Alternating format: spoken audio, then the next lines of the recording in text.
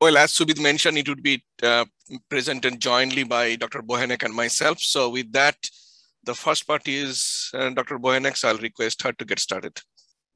First of all, just as that is teeing up, I, I do want to thank um, Dr. Kapat for the collaboration and partnership and the discussions around what I think are a very important uh, topic. You know, if you think about energy today, uh, we're we're at a very interesting time. We're in, we're in a time where our industry, the energy industry, is in transition. And I always think about things when things are in transition, there's opportunity. There's opportunity for research.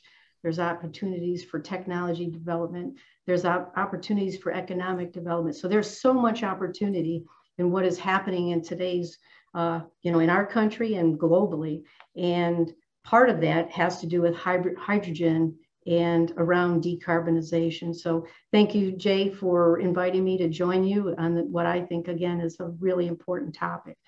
So if we go to the next slide, and some of these slides that I'm putting up are kind of to give us, you know, I, I guess one thing I hope everybody walks away with is to be a little bit inspired and to understand through that inspiration we can um, both, you know, within the University of Central Florida, uh, help and contribute to some of these rather challenging problems.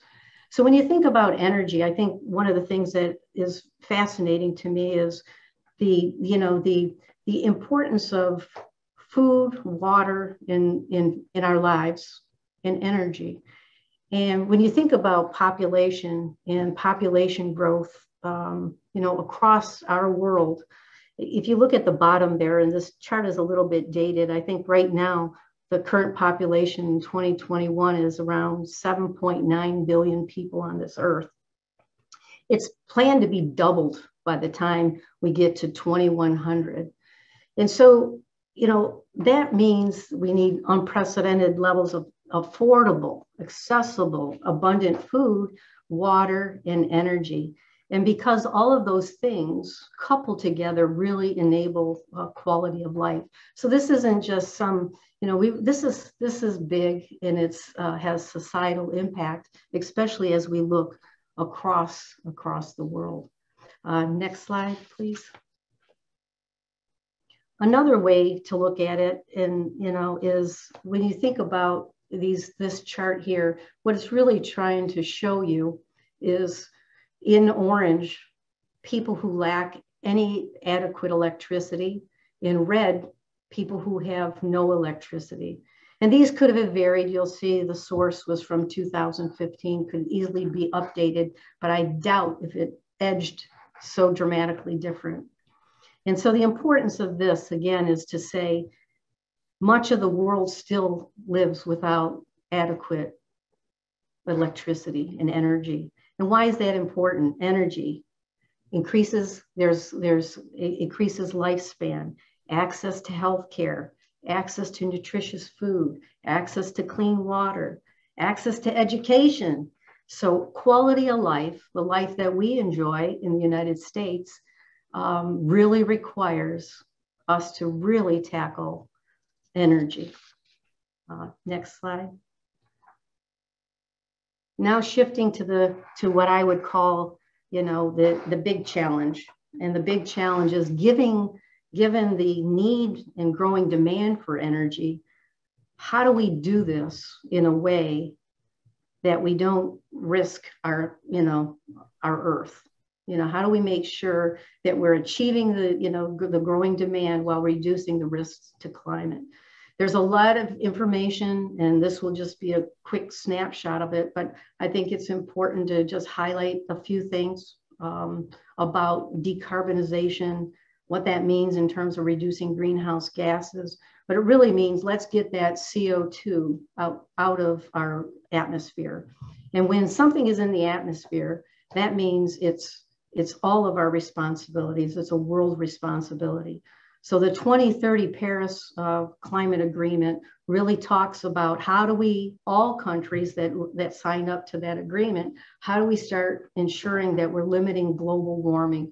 And, you know, they put a target to make sure it was well below two degrees. I think at some point people are talking about less than 1.5 degrees.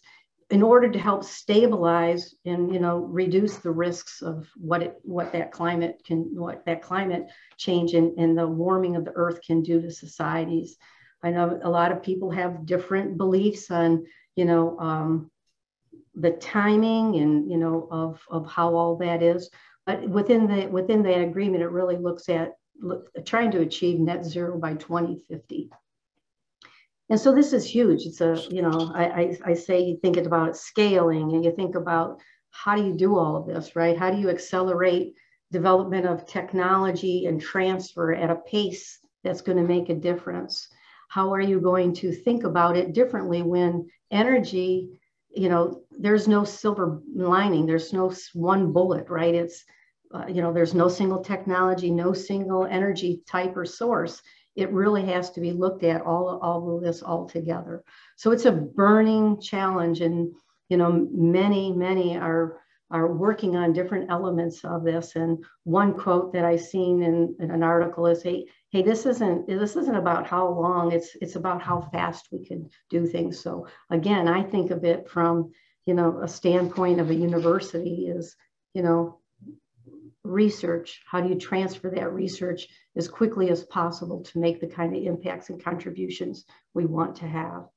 So if we go to the next slide, this gives you another perspective.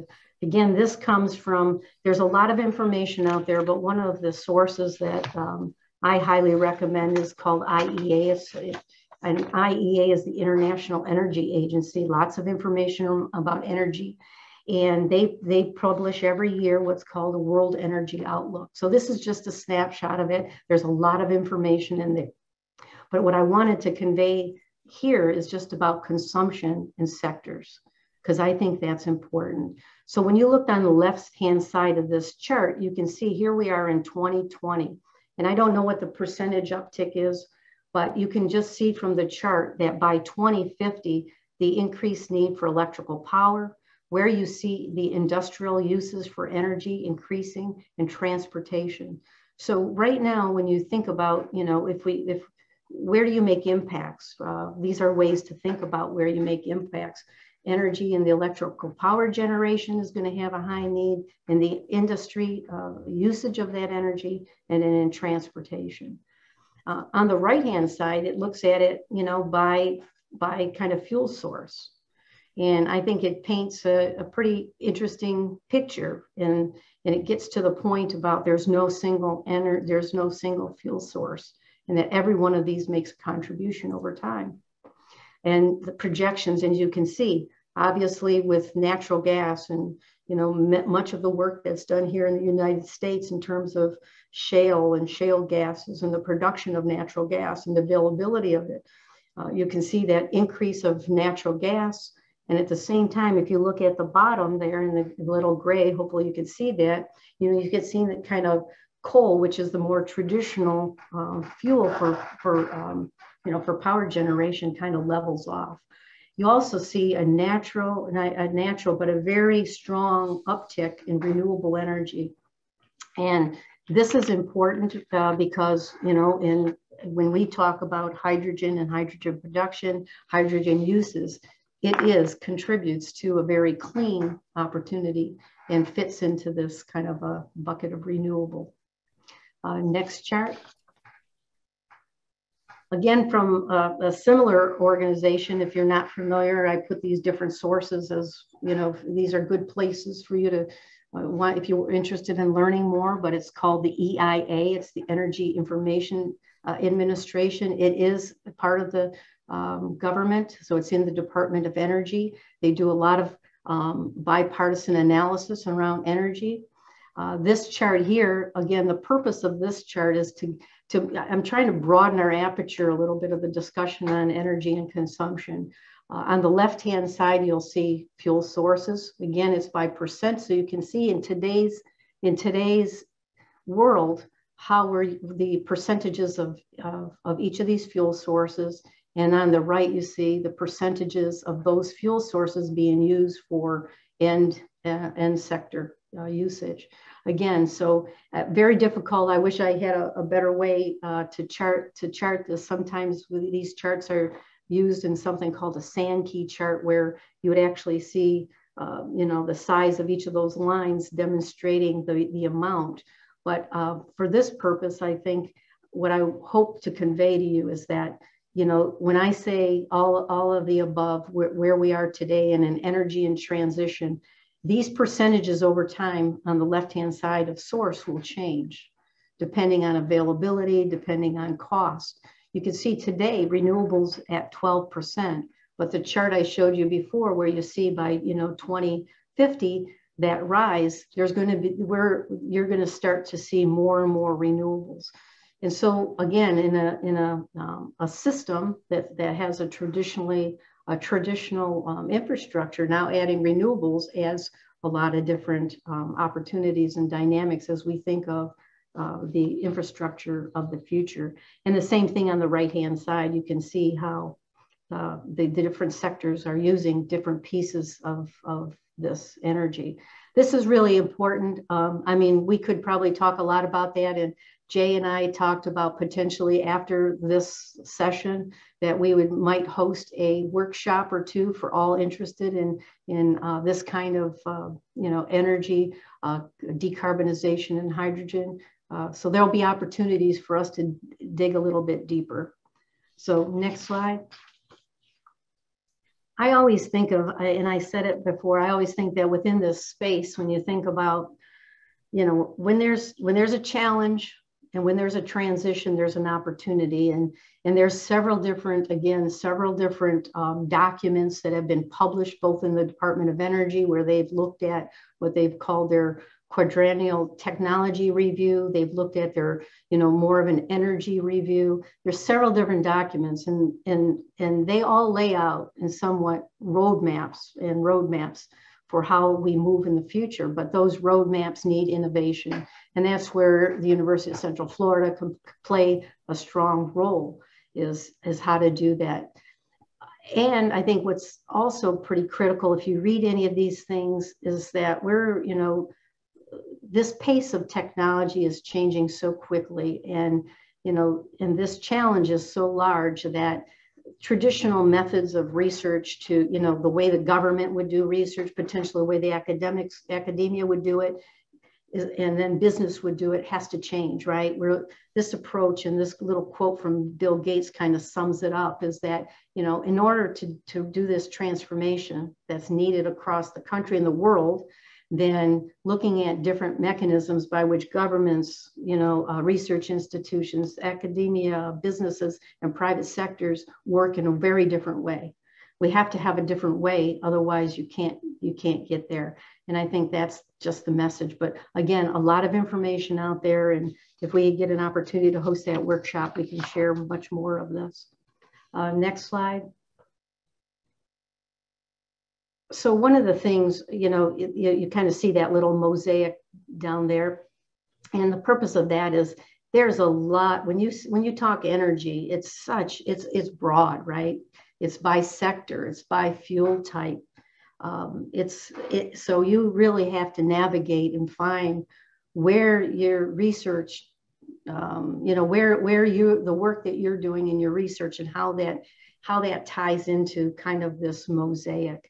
But I think the important thing is, you know, people are ready and, and just, you know, they're latching on to how do we, how do we, you know, innovate in all of these different, you know, buckets that I have here. And some of them are really challenging us, right? What is that energy infrastructure going to look like of the 21st century? How does hydrogen potentially fit into that? And on the right, and I know Jay is going to talk a lot more about it, but I just grabbed a couple clips just from the Department of Energy, and you can just see the, the sizes of dollars that are being put into this, right? So when DOE announces a $52.5 million program to accelerate clean hydrogen, they're this is they're serious and they're not, you know, this is a multi-year focused effort. Uh, so there's a lot of, again, good information there's a strategy, at least in our in, in um, our country has a strategy through the organizations within the Department of Energy and its supporting organizations. And hydrogen does play a big role and it has opportunities, and those opportunities are right now. So, next slide. another way to think about hydrogen's contribution, and I'll try to talk a little bit on that chart if you could see it uh, well enough from left to right. And I think part of it, when you think about hydrogen, right, it's first of all, you got to produce it, you got to transport it, and then you got to use it. That's the simplest way I can think about it.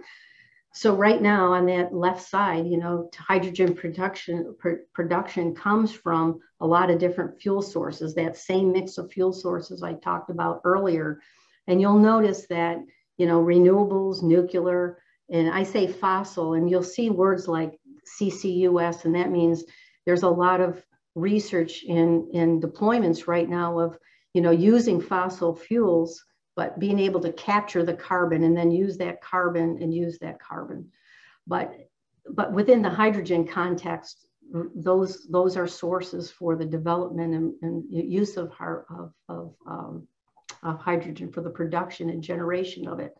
And also you have gas, the natural gas. Right now, uh, natural gas uh, probably takes up um, a big portion of um, the hydrogen production is comes from that. You can see my second bullet there on that top bullet. Natural gas accounts for three quarters of the global hydrogen production today. And what you're seeing is that as costs of renewables come down, then renewables will offer an opportunity to be part of the hydrogen uh, generation. And I think one thing I've learned throughout my career, especially within the Department of Energy, is um, everything is dependent on cost, right? Because that cost gets trickled down to the consumer, to the product, to the industry. And so um, cost drives, you know, drives pathways forward. So as renewables costs come down, they become more appealing. As natural gas prices have come down, they have become more appealing.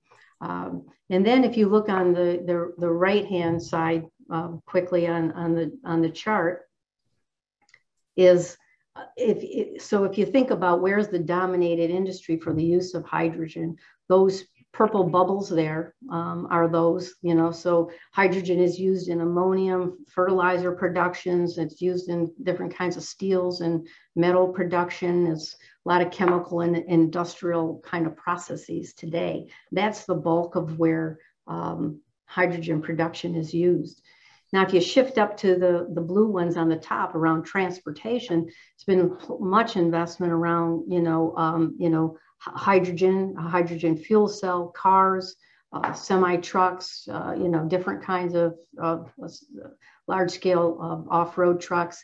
And when you think about those, then you have to start thinking about, okay, now it's, you got refueling stations. How do things get delivered? Is the infrastructure ready for a transportation system like that. So there's a lot, again, a lot of research and work and prototyping and um, delivery mechanisms to, to be considered. And also, if you look at the orange bubble down there, um, there's the how is hydrogen potentially used in you know multifamily buildings, commercial buildings, those kind of things. Uh, there's something called uh, you know district energy, and those mechanisms are also used for, you know, in kind of uh, city city uh, environments. So hydrogen has a lot of applications. I guess that's the easiest way to sum it up. It can be produced from a lot of sources and it has a lot of opportunity. And the beauty about it, it offers a way to, for us to think about decarbonization. Uh, next slide. Oh, well, that was quick. Uh, so let me just say a couple things in, in some in summary. Um, I think that you know when you think about energy, it just in general, and for sure hydrogen, because hydrogen has this opportunity to be uh, uh, to be contributing to clean energy. As I think of energy, is you know it's it's about energy security, it's about resiliency, it's about economic prosperity, and there is you know, it impacts, there's economic impacts. It has the ability to create jobs. It, it has the ability to be a, you know, a, a place where technology innovation occurs. I think you'll hear a lot, you know, if you if you listen to, you know, um, for instance, for instance, um, the current Secretary of Energy, uh, Secretary Granholm, or you know, um, other uh, other administrators that this this idea of clean energy, you know, it's a once in a lifetime. It's our it's it's the, it's the point in time where we we we we can step up. And there's a lot of innovation and where innovation is is a lot of clean new kind of technologies new jobs and new creations. So thank you for giving me the time. Uh, hopefully it was somewhat inspirational and inviting and we i will turn it over to jay for the second half of our talk you know i think i think i ne- neglected to say because I, I appreciate the introduction but the introduction you know one of the things that didn't come out is I'm now here at the University of Central Florida and and fortunate enough to you know be the director of the School of Modeling, Simulation, and Training. So I'm right in your, everyone's backyard here, and uh, we we at the at the school look forward to uh, more engagements and more conversations. Um, thank you, Subith. And wow, it is not every day that I follow a former Secretary of Energy. So, well, with that said, and I cannot avoid saying that, um, let me focus on the right side of the um, chart. In Orlando or at UCF, we are uh, fortunate to be having some of the best companies global with global brand names to be located who are working in this space. For example, Siemens, Mitsubishi, and a lot of others. So we, I see a huge potential uh, to what Dr. Bochenek mentioned, kind of follow up at UCF on that. With that said, also in, in CATER in the center wide, this is the decarbonization we used to call low carbon technologies. It is a very big um, focus with for the reason that I'm going to say next. Well, just a few days ago, we had um, what is called the Hydrogen Shot Summit, like following up President Kennedy's moonshot in the 60s so the, the, there is has been introduced what is called Energy Earthshots, and the very first one of those is on hydrogen, exactly for the reason that Grace was mentioning in the previous talk, that it can be actually addressing many of the many of the urgent situations that we have got um, uh, got to address. Now, what is decarbonization? Well, we can all give multiple types of definitions, but one way to think that is to take carbon uh, away from whatever is released to the atmosphere, or even better, to actually capture it out to kind of negate some of the cumulated or cumulative uh, uh, emissions that you have done so far. Also, one thing is that, well, I, I was asking myself how, how excited people are or common people are, because at the end, we are a public university and we have got a responsibility to the society and to our neighbors to mention to them that we are working on this very a very important topic. So I did a, uh, I did not do a Google search. Actually, Google search shows a very similar number. Being from the academics, I did a Google Scholar search, and the numbers basically says that people are talking about it.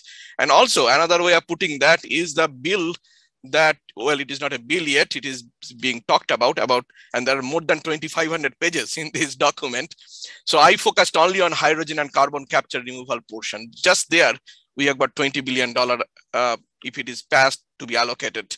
So that is our opportunity to be kind of looking at. Just for regional hydrogen hubs would be $8 billion. If I'm an energy student or energy researcher, well, in spite of all the gloomy messages, there is no better time to be getting excited because this is the time for innovation and and and, and new new um, development.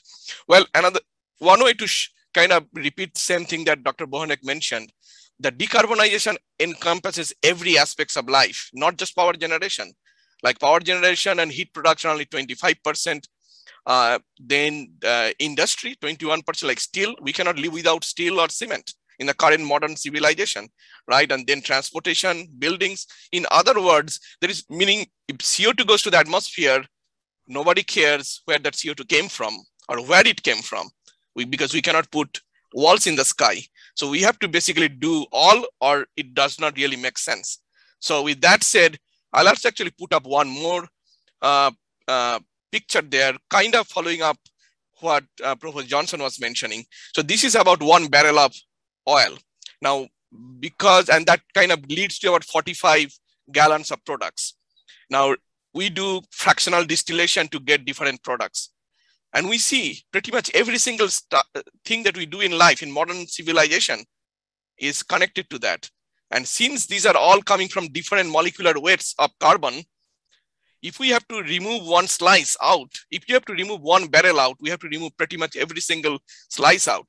We cannot keep on using jet fuel derived from crude oil and just completely make all the automobiles to be EV, right? Because we still have, we need the jet fuel and we need the crude oil. And, and, and so in other words, we have to remove pretty much, for example, these other products that include plastics, meaning if any one of us ask ourselves what we have touched from the time that we got up to the morning, pretty much every single thing that we did has some form of plastics. We need a complete changeover in our society. We may say that decarbonization is nothing but saving the human civilization from human civilization, right? Because the way we have been used to be doing things has to be rethought. So with that said, there is another way of putting the same chart, but this time geographically. Uh, on the left side, you see that, well, it is just not United States or EU. It is the entire world is producing these greenhouse gases. Why? Because as we saw in the previous set of slides, the quality of life is directly related to these activities that produce CO2. So we have to, and we cannot just tell others that, well, you, we have done, we have got it made and by, sorry, we cannot do it, right? So as a result, you can see on the right side, even the EU and America, those are the bottom two lines, they are coming down. And thanks to our innovation, thanks to DOE, for all the great innovations that have come out of them, we have come down almost maybe 30% or 40% down. But look at the whole um, world, meaning the amount of this increase completely overwhelms the amount that we have decreased. So we have to have a not only across all the sectors, a holistic, but also global global target for our decarbonization effort. With that said, I'm going to go through three very quick samples, which are kind of relevant for uh, UCF uh, as we are doing. One of them is decarbonization of steel and cement because these are very difficult industry sector to decarbonize. And on this, because for example, in cement manufacturing, we need coke. Coke comes from coal and coke is used both for heat purpose, but also for chemical, for as a reducing agent.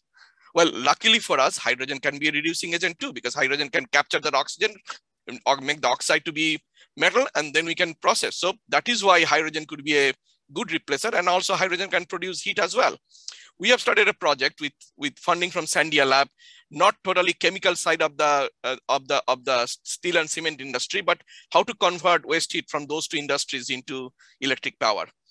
Next next one. Now this is a very big one. So our whole whole infrastructure of power generation is going through some tremendous changes. Obviously, solar and wind have come in a big way but then we have to store them. We can store in a lithium ion storage, but for longer term, we need to do water electrolysis. And then first of all, we have to have the water storage and the amount of water that you need for a, uh, say 250 megawatt gas turbine is tremendous. So water itself would be an issue. And, and, and then again, on the very bottom, I still have left natural gas. Maybe with time that would be eliminated to be completely green with the green hydrogen based, but this whole ecosystem has to be looked at and this is going to be requiring tremendous amount of uh, innovation. For example, hydrogen raises the question that maybe the NOx will go up because it burns hotter. Well, that is actually with one of our industry colleague or partner in the city. We created a tracking tool. It is just taking the data from EPA uh, website and make it publicly available to see how we are doing. Over the last three decades or two, yeah, three decades, we have done tremendously well in spite of the fact that the temperature has gone up. So it is not automatically easy to say that that would be the case, meaning we should be able, we should not be worrying about NOx emission, but we like to pacify the public. So that is why that tool is there. Next thing is that uh, where we are going to get the water. So we actually have started a new uh, idea, which is being part of is being patented at UCF, where we are going to have everything in a closed cycle so that the water is actually harvested back so that we do not need water back for the back for the electrolysis. And we have got a number of projects going up. Uh, actually, one of those just got uh, in the UCF today a few days ago, along with mine and Subith's project. And the last main slide is that potential hydrogen up. Orlando has got a huge visibility in the whole world. Um, we probably can piggyback on that visibility and, and actually start doing something pretty novel. We can create a hydrogen hub, whether it is local or regional, doesn't matter we we have got some of the best companies in the whole, whole world located right two of those right in Orlando. We can team up with them for doing hydrogen blending for power generation. Commercial avi aviation, I'm talking about the large one, not that uh, the, the business jets and personal airplanes. That is a very difficult to decarbonize sector. Hydrogen can even again be very crucial for that purpose. Um, and we have got a very large airport that is very visible to the whole world. Steel and cement, I already mentioned, and we are talking to the, some of those companies in Alabama mobile area. Um, then we actually just teamed up with a small local startup called LuftCar. They're actually trying to do hydrogen powered uh, fuel cell driving uh, urban uh, air and road mobility well, that hydrogen could be coming out of the hydrogen hub as well, and Lynx and Disney. So in other words, we can create a pretty good uh, ecosystem right at Orlando that would be very visible to the whole world and they can learn from us. With that said, I'll be, that is my last slide. And obviously in use, in, in academics, professors do not do absolutely anything except talk and it is the students and the group that do the work. So I cannot bad, but give the credit, the credit to them. With that, that is the end of my talk.